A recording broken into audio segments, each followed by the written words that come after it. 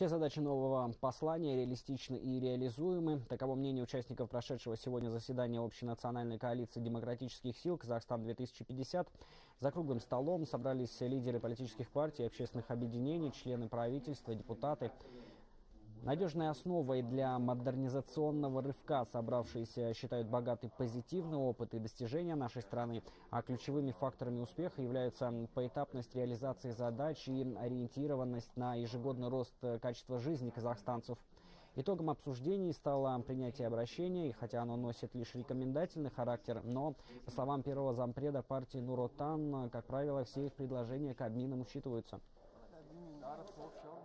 Вы знаете, что по обсуждению, предположим, вопроса о местном самоуправлении, выборности, коалиции были приняты рекомендации, но в коалиции прописано, она может давать рекомендации политическим партиям, фракциям, правительству. Отрадно, что все рекомендации, которые были даны, правительством были исполнены в полном объеме. Правительство, вы видите, на каждое заседание коалиции приходит, на все вопросы открыто отвечают.